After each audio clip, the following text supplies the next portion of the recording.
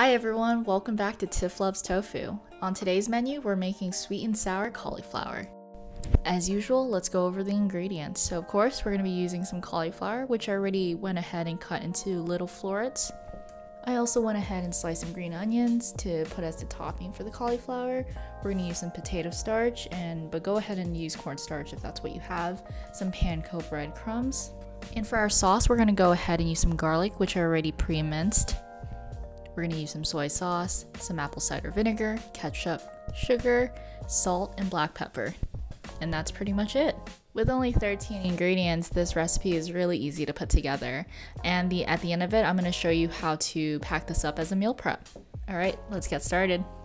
We're to start off with creating a dredging station and in our first bowl we're to add salt and black pepper to our all-purpose flour and in the second bowl let's add some potato starch or cornstarch if that's what you have, add some water to create the slurry and keep stirring it until it's completely dissolved and now we're to go ahead and dip the cauliflower into the flour.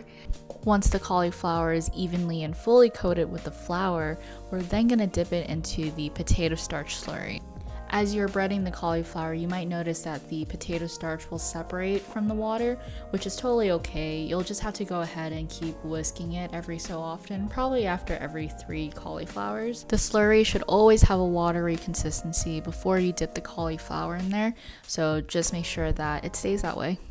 And finally, we're gonna coat it with some panko breadcrumbs, and this is what we're going for. So now that we know how to bread the cauliflower, let's continue this process until we've used up all the cauliflower. I must admit this is the most laborious part about making this recipe, but it's completely worth it, and this is perfect as a Sunday meal prep, and you'll just have lunch ready for the rest of the week. And we are done with the breading. Let's pop these little cuties in the oven. Let's bake the cauliflower for about 25 minutes or until it's golden. And while it's baking, let's make the sauce. In a pan, let's add some olive oil and then let's heat up some garlic until it's fragrant. After a couple minutes, let's add the soy sauce and we're gonna let it heat up for a little bit before we add the ketchup. This is actually gonna give us that orange color that we're so familiar with. And for the sweet part in the sweet and sour cauliflower, let's add some sugar.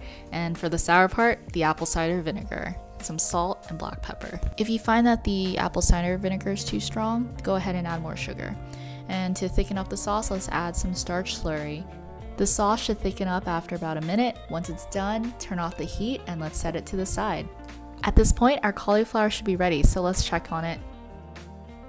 I highly encourage you to use a large bowl instead of this small casserole dish, which I decided to use.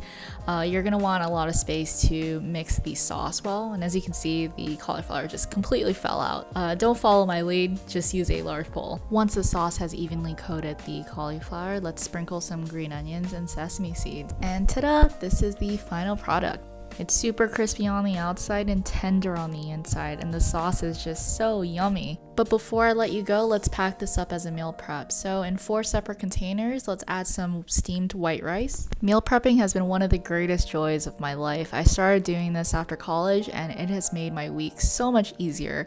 You know, you go into your fridge and you just have lunch or dinner ready for you. As long as you make good food or something that you really want to eat, then you'll never get sick of eating the same thing for that week. Anyway, I hope this encourages you to try out this recipe. Thank you so much for watching, and if you like this video or would like to see more recipes like this, please hit the like and subscribe button below.